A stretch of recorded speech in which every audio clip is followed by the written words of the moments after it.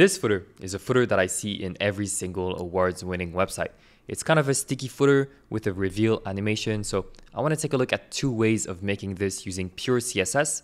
And I'm also going to use React, but it won't matter. You can just apply the principles of the video into the framework of your choice. And also you can find the live demo and the source code in the description below.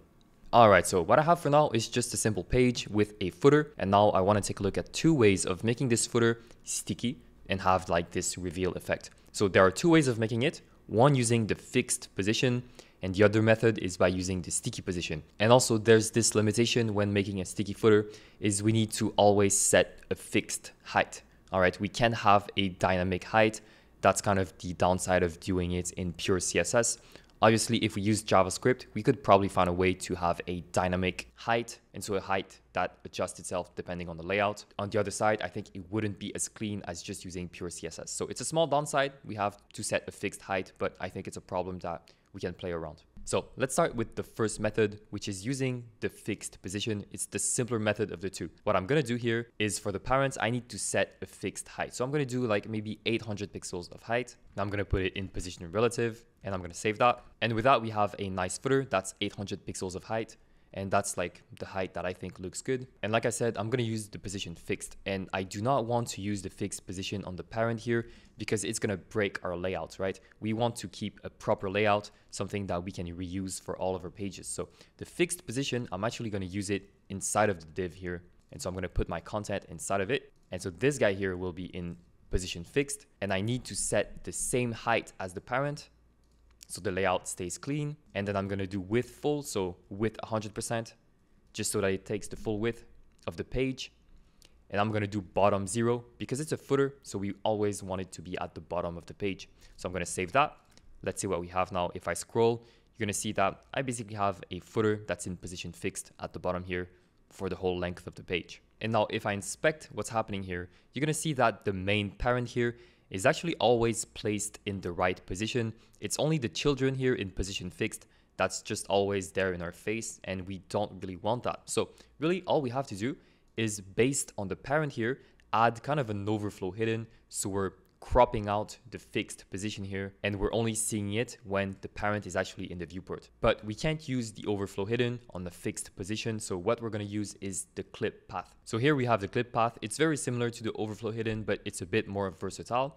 And now I'm going to use the clip path polygon here. So I'm just going to copy paste that and I want to apply it to the main parent. And so I'm just going to use an inline style for that. I'm going to have clip path and here it's going to be polygon and I'm going to save that, see what we have. And here I'm to scroll and you're to see now here, I kind of have my sticky footer, but it's just not the right crop. It's like this weird shape, but I want it to be a rectangle instead. So here I have four different points of XY coordinates. So I'm just to adjust that. First point, zero, zero. Second point, let's see, X100, Y0. The third point is going to be at the bottom right there. So 100, 100 for both axes. And the last one, 0 on the X and 100 on the Y.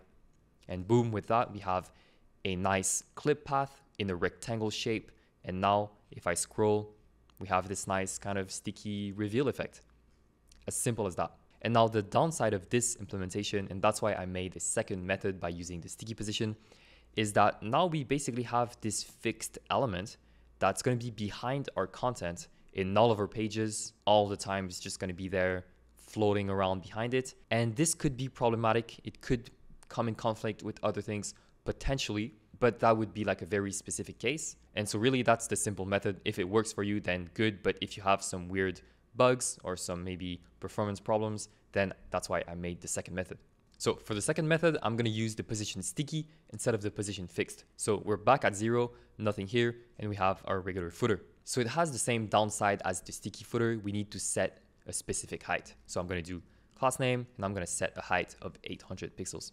And I'm also going to put it in position relative. And now I'm going to use the sticky position. So what I need to create is a sticky area. So the footer is going to be in position sticky and it needs to stick inside of an area. So I'm going to call that the sticky area. So it's going to be a div that I'm going to create here. And here you're going to see I'm going to set a specific height of 100 viewport height plus the height of the footer. So in this case, it's going to be 800 pixels. And since it's going to be the parent of the sticky position, I'm going to do position relative here. So that it's actually working.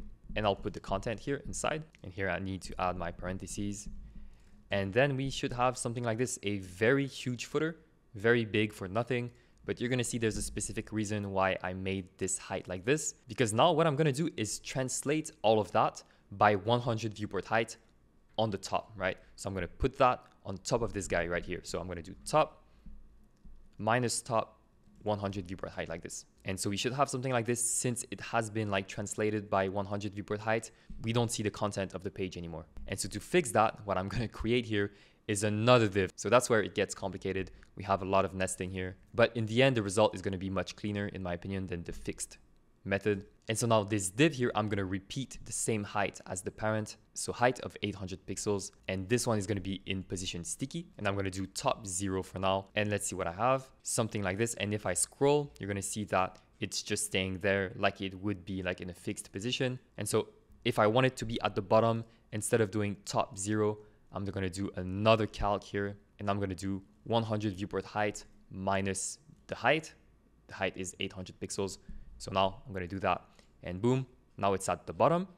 And so now we have a very similar behavior that we had with the fixed position. And so we're going to fix that problem the same way. We're going to use the clip path. So I'm just going to grab the clip path here and then I'm going to apply it to the parent. And that way we're basically cropping everything that's outside the main footer here. I'm going to save that. And now we have a nice sticky footer. Again, a nice revealing effect, a bit of a wild implementation. In my opinion, it's a bit hacky, but we have the same result. And this time, we don't have any fixed element, some weird fixed element floating behind the content of our page. We're just gonna have two overlapping elements. We're gonna have the last section of the page and the footer. They're gonna be overlapping, but that's it. Compared to the fixed position, in my opinion, it's a bit more clean, even though the implementation is a bit more wild. So yeah, that was it for this tutorial, guys. I hope you learned something. If you did, leave a like, subscribe, and I'll see you in the next one.